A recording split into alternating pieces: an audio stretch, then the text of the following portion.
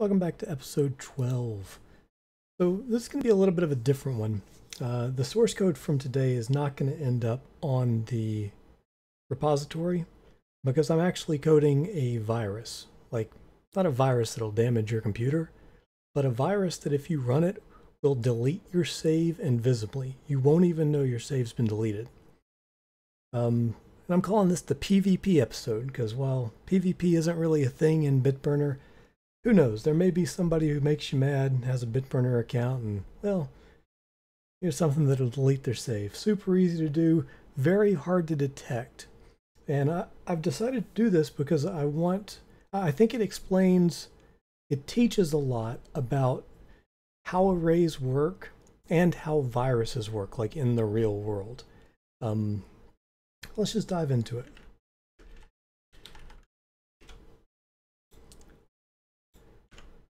Ah, this is going to be fun.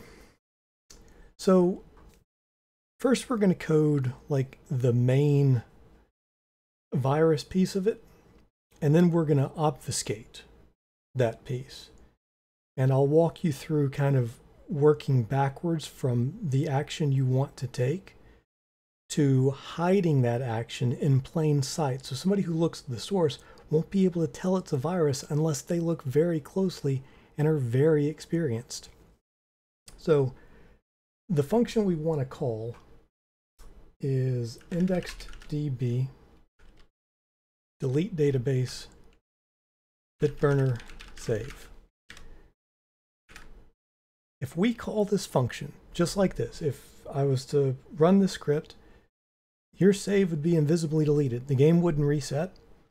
Um, there would be no indication that your save was deleted until the next time you reloaded the page, you'd be back at the tutorial. Now, of course, you can export your save, and it's recommended that you do, but you know it can cost you five, six hours. Now, if this was hidden in some kind of really complicated script, um, people might run it and have it randomly delete their saves and have no idea why their saves were disappearing. But that's neither here nor there.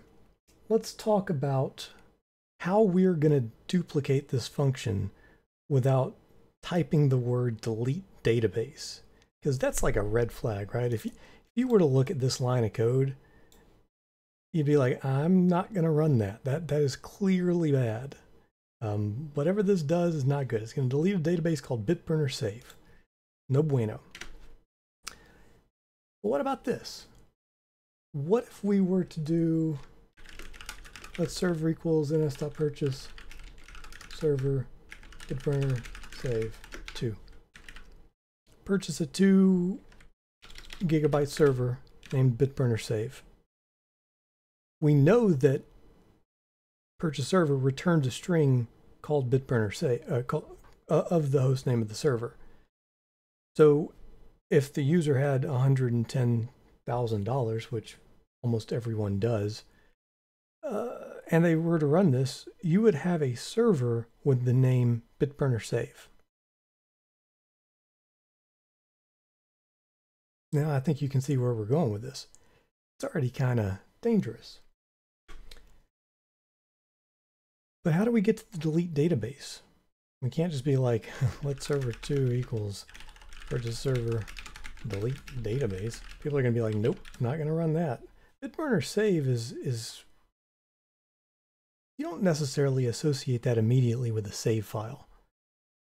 It could be any number of things, and you could even obfuscate that further if you wanted to, but for now we're just going to leave it like that, because the real obfuscation is about to happen with this.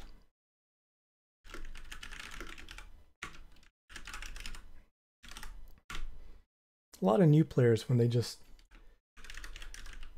start uh, the game, this is how they define their servers. They just kind of type a list of them.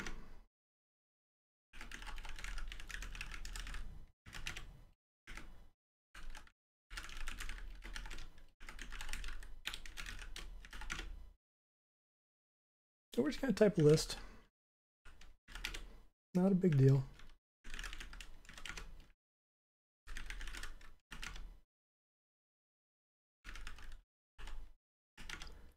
All mostly real servers. They look real enough.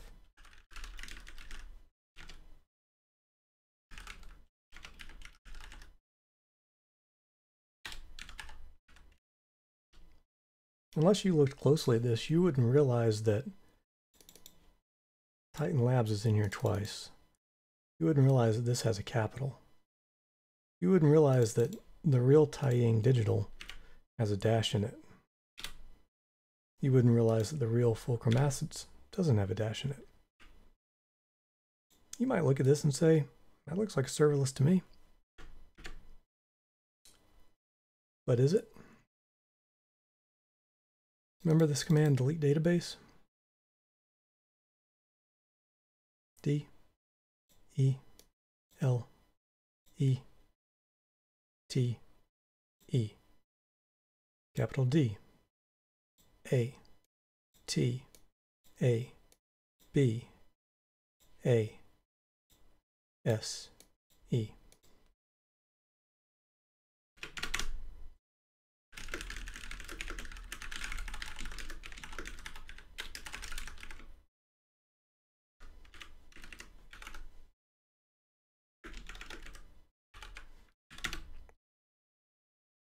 That doesn't look particularly dangerous.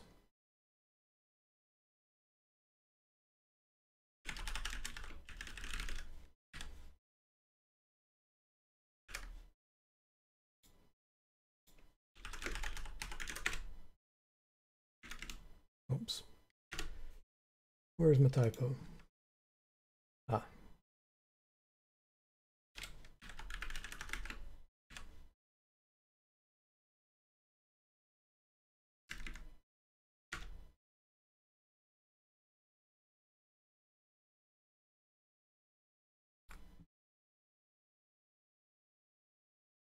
Oh, I, I got there a little quick.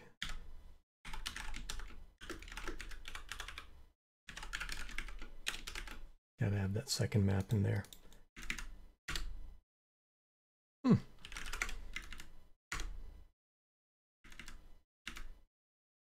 How about that? Is the word delete database in here at all? I mean, commented out. There's no word delete database. But because of the way we're splitting the string, which looks like just a normal list of host names, take a look. We're splitting it on the dashes, and we're taking the first index, which is the second item in the array. Or, if that doesn't exist, we're taking the first letter so let me copy this and I'll show you step by step how this works.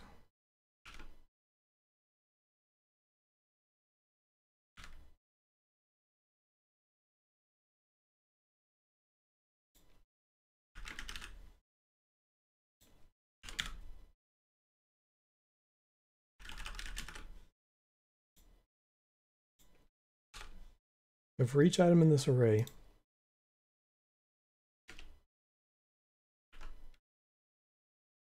we're taking the first letter. If there's no dash, we're taking the first letter of it. So like DEFCON with capital D, no dash. So we get the first letter. If there was a dash,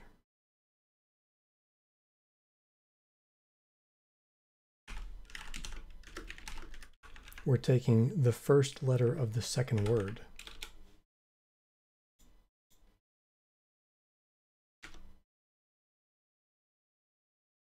Oh, I can't for each that. I got to map this.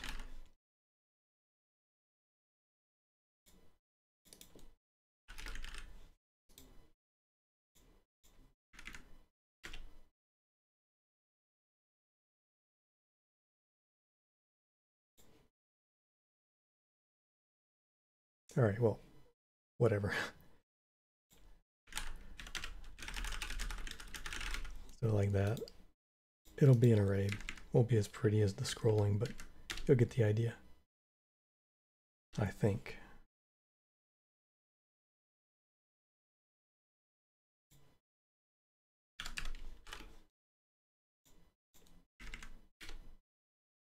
Oh, come on.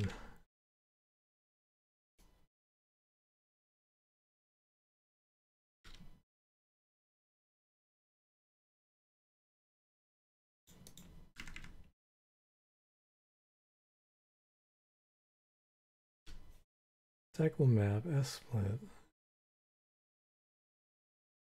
or s0 dot map s0. Oh, probably helps if I actually assign it.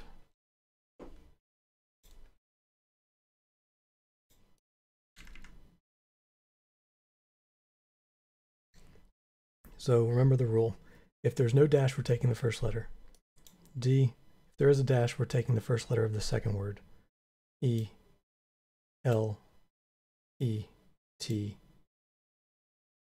And there's, oh, yeah, E, capital D, A, T, A, B, dash, A, S, E.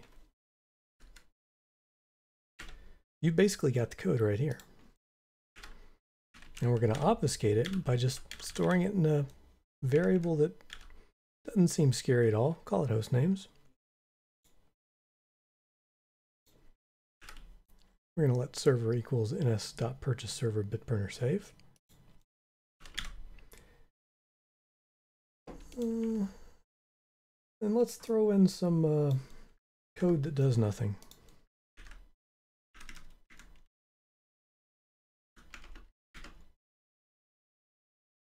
Course, if you were to un uncomment this out, it would throw an error because you can't get server max RAM of a what is at this point the letter D, or actually it's the word delete database because um, it's been joined already.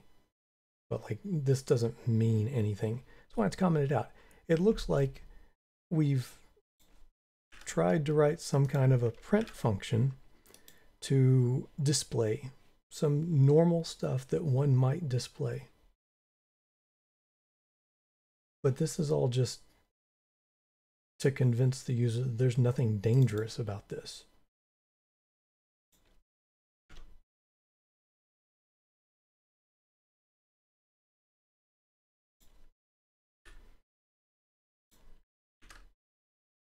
Yeah, I just pulled this straight out of our hack script.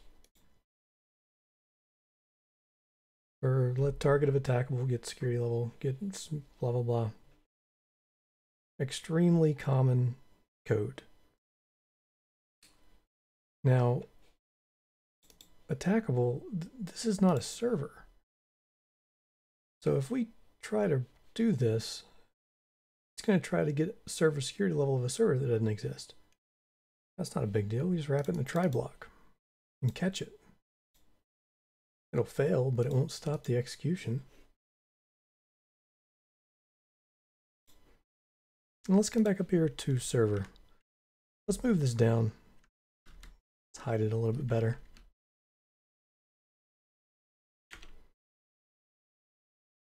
Maybe we do like, uh,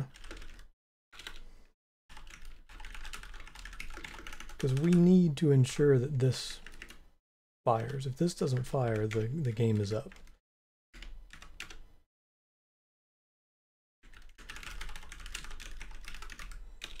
And we'll we'll push it to the attacker's array.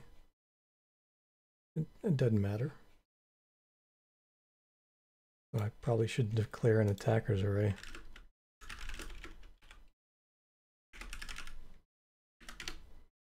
You can put some more stuff in there or not.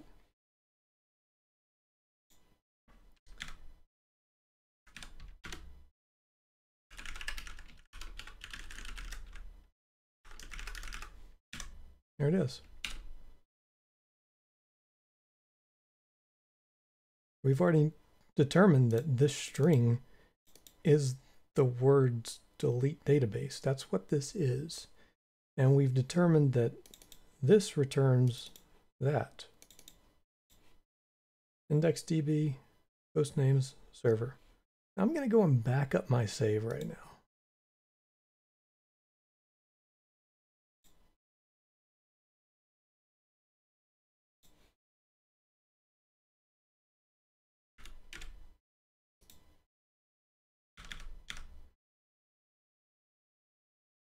That's the finished script.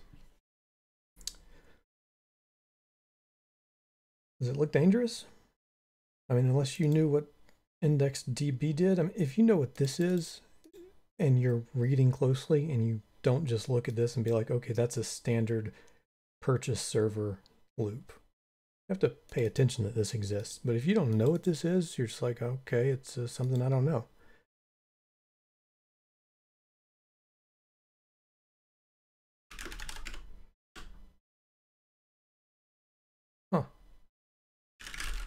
Nothing happened. I can still play the game. I can change factions. But watch. Refresh. F5.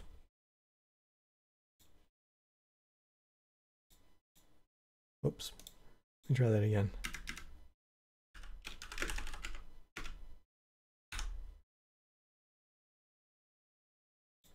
Okay, something's wrong. Oh, there is a problem. Have 25 servers. So I wasn't able to purchase that Bitburner Safe server. Let me um let me delete a server. Just so that we can see the full effect of it.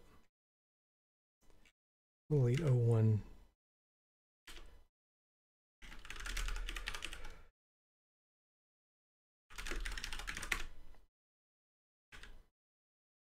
All right, so we've deleted that server now. I think. Let's scan to make sure. Yeah, the server's gone. Uh, we'll try running PvP one more time. That would have been cool if it worked the first time, huh? So you, you don't see anything. I'm going to stop working for the faction, bounce around, maybe pick up uh, some stock WC account and I'm just going to reload the game. Close the game, close the browser, whatever. Just reload. Leaf page. Uh-oh. Save's gone. Nothing. Didn't save my themes, didn't save my templates. Fortunately, I can import the game I just saved.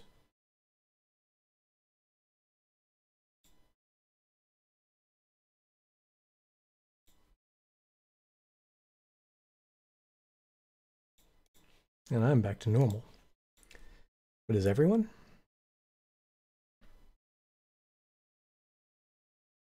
All right, don't run shit you can't read. If you haven't read the source code, don't execute the script. And if you don't like somebody, make sure they're dumb enough to do it. A lot of people are. All right, thanks for watching.